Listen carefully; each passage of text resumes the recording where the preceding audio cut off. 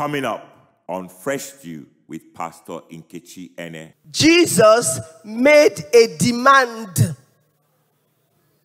on his faith. That is how help comes. Help comes by Jesus making a demand on your faith, paying no attention to your sub story, paying no attention to the troubles you've walked through. He made a demand on his faith.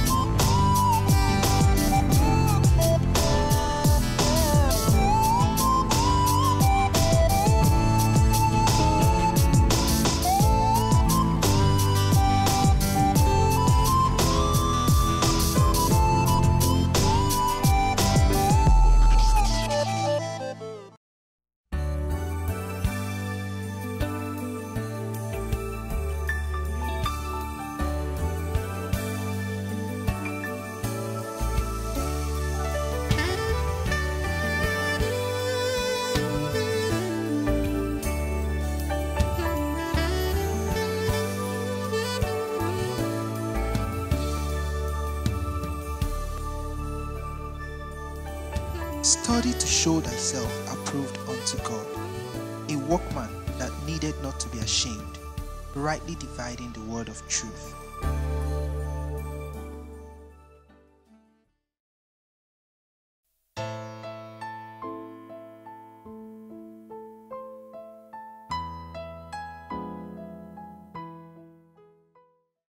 Today's message is titled Positioned for the Word of Faith.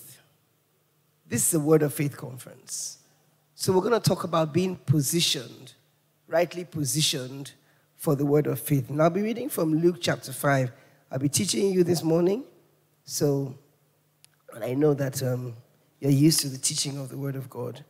Luke chapter 5, verse 1 to 7. And I like to use the New King James Version. My pastor, Pastor Charles, used to say that God only speaks through King James, but I showed him that God also speaks through New King James. So it was, as the multitude pressed about him to hear the word of God, that he stood by the lake of Gennesaret and saw two boats standing by the lake. But the fishermen had gone from them and were washing their nets. Then he got into one of the boats, which was Simon's, and asked him to put out a little from the land. And he sat down and taught the multitudes from the boat. When he had stopped speaking, he said to Simon, Launch out into the deep and let down your nets for a catch.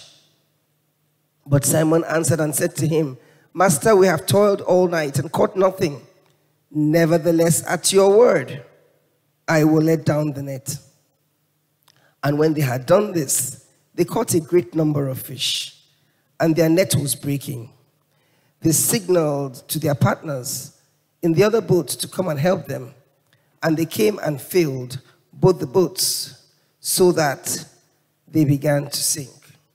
We see a story here of toiled all night and caught nothing, turning into a great number of fish. That was a turnaround.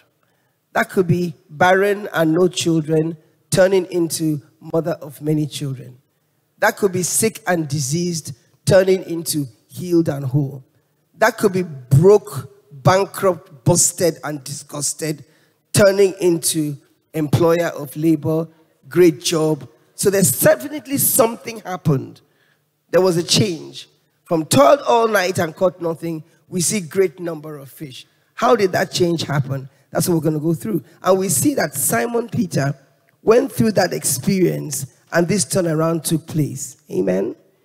Now, do you think that if Simon Peter was positioned somewhere else for where Jesus was, that would have happened to him?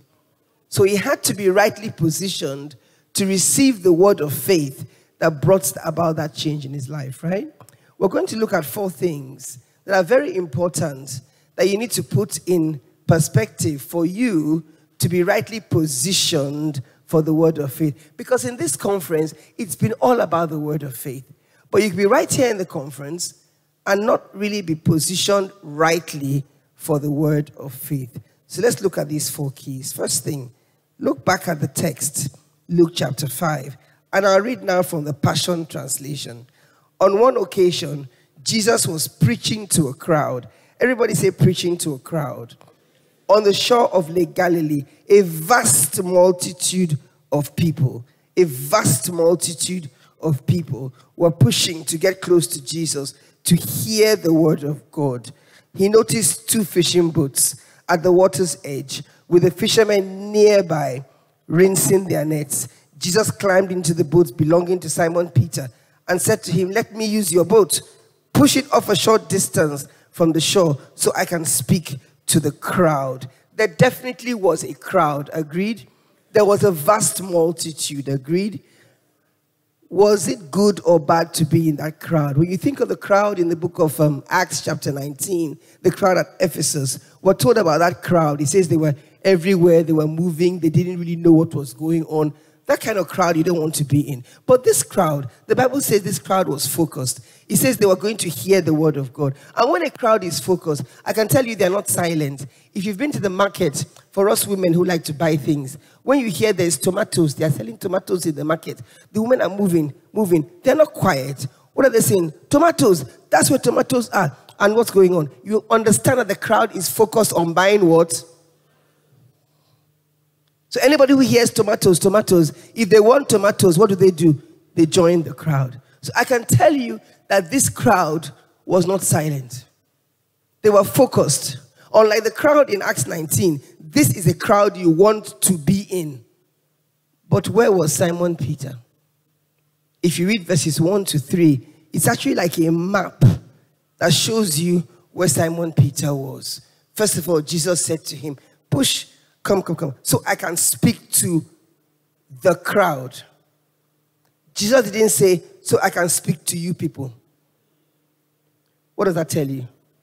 He wasn't in the crowd. He was in the crowd.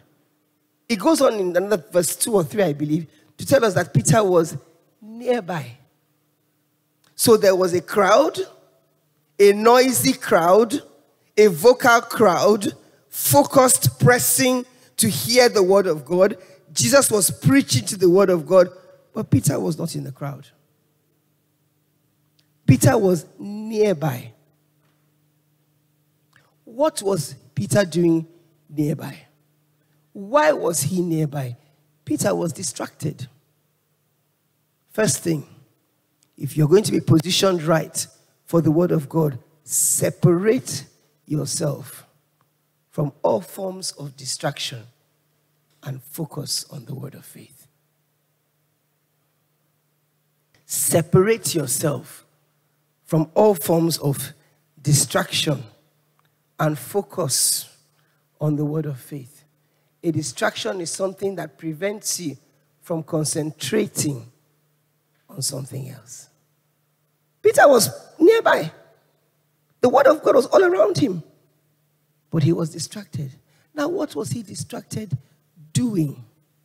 Verse 2 But the fishermen had gone from the boats and they were washing their nets. Everybody say, washing their nets. Another version says, the message says, they were out scrubbing their nets. Get the picture. There is a crowd, a good crowd not an Acts 19 crowd, a crowd you want to be in. They were pressing for a good purpose. They were vocal. They were going to hear the word of God. Peter was nearby, washing his net, scrubbing his net. In the Greek, there are many words that are translated wash. There's a word nipto, that means to wash a part of your body. There's another word luo. There's another word baptizo. There's the word rantizo. They're all wonderful words. They could all be translated as wash, but they're always used in the right context. The word used here for wash is a different word from all these ones I've called. It's a word pluno, apopluno, and it means It's only used in washing inanimate objects like clothes. You don't apopluno a human being. In other words, if you've got a little child who goes into potopoto and plays, and you bring that child out to wash that child, are you going to use iron scorer? Say, you this stupid boy, I've been telling you, make you know they enter potopoto. Come here. You bring, you wound and kill that child. So you don't do that, right? So what will you do? You will nipto the child. But apopluno is used for like when you want to wash your rug or your mattress where they don't. You, it literally means to plunge in and out. For those who used to wash in the river in those days, you plunge into a lot of energy, a lot of effort, thorough, avid concentration, attention. You are washing a lot of dirt out. That verb, uh, that apopluno, is also used in that place in the Greek imperfect tense. And that's a tense that is past tense with a continuing situation going on. So it's in the past, but it's continuing. What does that tell you? Peter was doing something he normally does. Peter was doing something that he has always been doing, and he was still doing. Peter wasn't a lazy man, but he was distracted. What distracted him? His routine.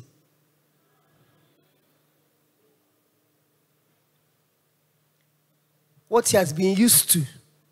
Sometimes your routine distracts you from a current move of God.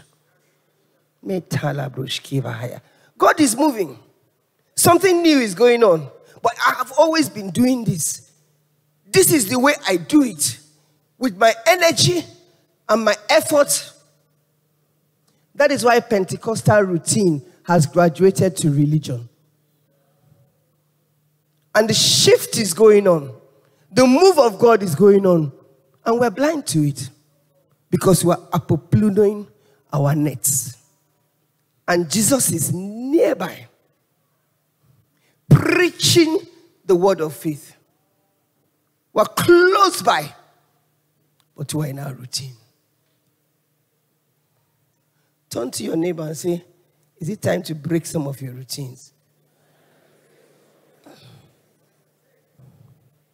Peter was distracted he was legitimately busy in his daily routine.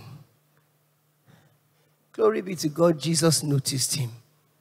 The Bible says, and Jesus has noticed you here. Even by the crowd, the spotlight, such is the compassion of Jesus, such is the interest of Jesus, like Pastor said, for you to receive. So you may be distracted in your mind, distracted in your activities, distracted even by the things you are doing for Jesus. Distracted by the work you are working for Him. But there is a move of God. There is the word of faith. And you are busy apopluning, using your energy to work. But Jesus noticed him the spotlight came on him. The word will always put a spotlight on you. It will always shine you out. Somebody with a sore in her breast that is not healing. I believe it's a nipple sore here, online, wherever you are. The spotlight has come on you. You are healed in the name of Jesus. Wherever you are, the word will always put a spotlight on you. And what we're going to see that Peter did to get himself rightly positioned for that turnaround is that Peter kept making choices. He kept making choices. And his choices were the right choices. If he made the wrong choices, he would have missed that turnaround. So the spotlight came on him. So the first thing I told you was what? Separate yourself from all forms of distraction. He was distracted. He was distracted by his daily routine. Jesus saw him, noticed him, put a spotlight on him, and definitely, definitely, if Jesus sees you, he sees you to help you. Somebody shout, Help is here.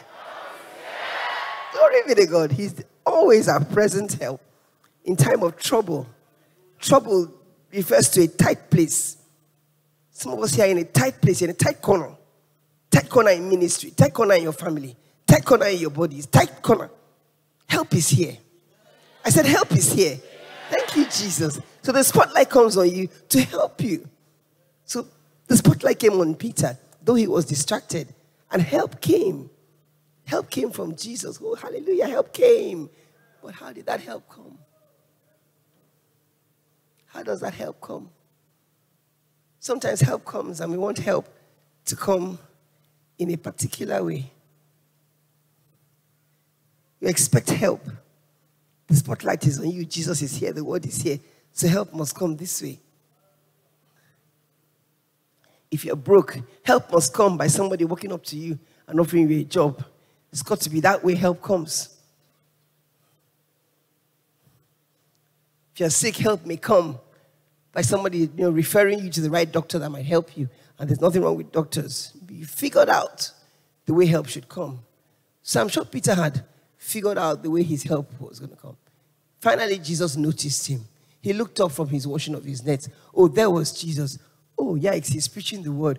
Okay, okay. Is this guy who's been preaching the word around the place? Is this guy who does great things? He must be here to help me and solve my problem. But what did Jesus do? How does Jesus bring help? Do you know what Jesus did? Jesus did not pity him. Hello? Had Peter had a rough night? Had Peter had a rough, tough night? Plenty effort, no profit. That sounds like some of us. Plenty effort, plenty worker for this Lagos. I told Pastor Kingsley, you have to have a call to be in Lagos. So, thank you, thank you. God did not call me here. Oh. I go to visit, then I go there. Go. Oh. If God not call you, no try more, oh, you go just die before your time. so plenty effort, no profit. Peter thought he was giving Jesus breaking news. I've toiled all night and got nothing. That's how some of you go to God with your prayers. Breaking news, Jesus. I've been married 10 years, I never born. Breaking news, Jesus. They've not increased my salary in three years. Breaking news. Did Jesus not know? So Jesus noticed him to help him. But how did that help come? He didn't pity him. I said he did not pity him. Sometimes you go to pastor, you won't pity. I told Pastor Mildred the other day what I've been going through. I expected to see, at least see some tears in her eyes. As woman just had, just they look me. Now, wow. You expect it to come. He didn't pity. He just, just did not pay attention to what he said. He didn't pity him. Jesus, neither did Jesus compensate him. Some of us come to God wanting compensation for our troubles. If you know what I've been going through, what I go through to come to church, Jesus, what I go through. If you know what I go through, the amount of transport, I just come. But if you know what I go through, okay, so what next? Do you need compensation? You want Jesus to recognize your troubles? Jesus did not do that. What did he do? Jesus made a demand on his faith. That is how help comes. Help comes by Jesus making a demand on your faith, paying no attention to your sub story, paying no attention to the troubles you've walked through. He made a demand on his faith. Let me tell you a few things about how Jesus makes these demands on your faith. he didn't compensate him, he didn't pity him. Listen to what a demand is. A demand is a is an insistent and peremptory. This English wants to embarrass itself, not me. Request made as of right, pressing requirement. Why did Jesus do that? There must be something Jesus knew. Jesus could hear, listen, listen, listen. Jesus could hear Peter. He was saturated in the natural realm. He was soaked up by his pain and his emotions. Jesus needed to shift him. Jesus knew that without faith, it's impossible to please God. He had to drag him out of that realm. Some of you are being dragged out of that realm in this conference. You are being dragged into the supernatural realm, into the realm where God operates, the realm where your help is. And this help comes by demands. It is still Christian to have God place demands on your faith. And when God places these demands, He is not politically or diplomatically correct about it. One of my daughters says it this way when you want to do something, do it with your chest. I do understand what that means. She had to explain to me. Say, mommy, in this generation, when we say it, we mean just if you're going to do it, do it. Jesus makes demands on your faith with his chest. He doesn't use corneo. Oh. Anybody who uses corny is not demands sent by God. When God makes demands on your faith, he does it with his chest. Remember when the prophet went to the widow of Zarephath, a widow. A widow. Are you not supposed to sorry for a widow? A widow where one die, had only one son, had prepared to die. Her grave was ready. Prophet came, noticed her. Shouldn't he have been coming to give her food? Is that not what men of God are supposed to do? Hey! Breaking news. This prophet came. Not only did he collect her last chop, he said, Feed me first. Do you know how that will hit CNN? In a certain church in Port Harcourt, it was said that a pastor met a widow and took her last plate of rice and told her that he was going to eat the rice first. I wonder what all these churches are turning to. Breaking news. It's Jesus. He's making a demand on your faith. And he does it with his chest. That's how your help comes. It comes in opportunities. Boldly put before you. What is that thing God is telling you to do? What is that thing He's asked you to say? And when He makes those demands, he doesn't really care if he's going to embarrass you. Because you see, when Jesus notices you, he notices you to help you. The challenge is that we have predetermined and preordained how that help is going to come. Therefore, we miss our positioning. But it doesn't always come that way. It doesn't always come that way. When he makes those demands, he doesn't even care if it's going to embarrass you. He's making that demand on your faith. That's what he's doing. And sometimes you need to tune into that realm to hear what he's saying. Not only does he make a demand by with his chest, he makes demands of things that you already have plans for. That's what he does.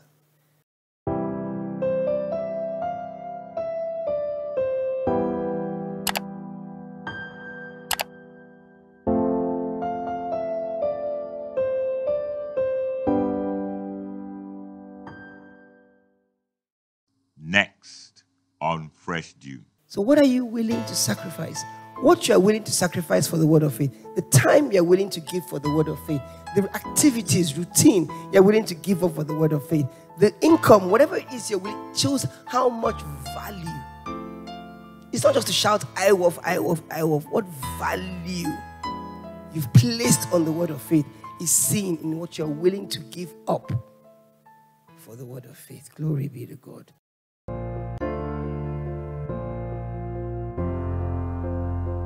Are you alive but not really living life? Do you know somewhere deep down that something needs to change in the course of your life? Does it feel like you have lost your way in life? Yet to others, you seem to know your way. Jesus is the way, the truth, and the life. Can you believe that somewhere on the inside of you? Do you believe it? He is the answer to every question. And He loves you just the way you are. Today, He's waiting for you with arms open wide, and He wants you just the way you are. Will you make a decision today to surrender your life to Him and run into those outstretched arms? If you want to do that, say this prayer out loud meaning it from the depth of your heart, and you will be saved. Lord Jesus, I come to you today. I believe you are the Son of God, and that you died for me and rose again just to save me. Come into my heart and make me brand new as you have promised. I will live for you all the days of my life. In your name I pray. Amen. Amen and amen. Congratulations on taking the most important decision of your life. You are now born again and a brand new person. It has all happened on the inside of you. Now you need to grow in your new faith. And what has happened on the inside will surely be reflected in your everyday life. We can help you grow in your new faith. Please call us at 0700 Fresh Dew or email us at saved at freshdew.tv and we'll be here for you.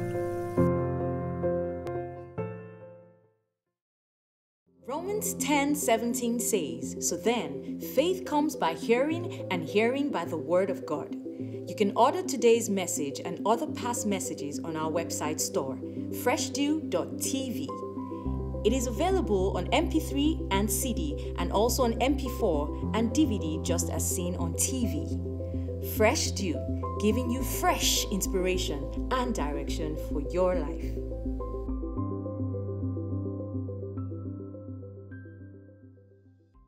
Thank you for watching Fresh Dew today with Pastor Nkechi Ene. We trust you were blessed by today's episode. For further information on Fresh Dew, please call us on 0700 Fresh Dew, which is 0700 3737 4339. If you're calling from outside Nigeria, the number will be plus 234 700 3737 4339. Our phones are open from 9 a.m. to 11 p.m GMT plus one. You can also send us an email to info at freshdew.tv and we'll be glad to serve you. We also invite you to like, follow, and interact with us on our Twitter and Facebook pages at Freshdew TV and also on Pastor Nkechi's Facebook pages at Pastor Ketch. For more information on how you can partner with Freshdew and receive Pastor Nkechi's monthly letters and weekly MP3 gifts, please visit our website www.freshdew.tv. Once again, thanks for being with us today, and we look forward to seeing you next time on Fresh Dew to receive fresh inspiration and direction for your life.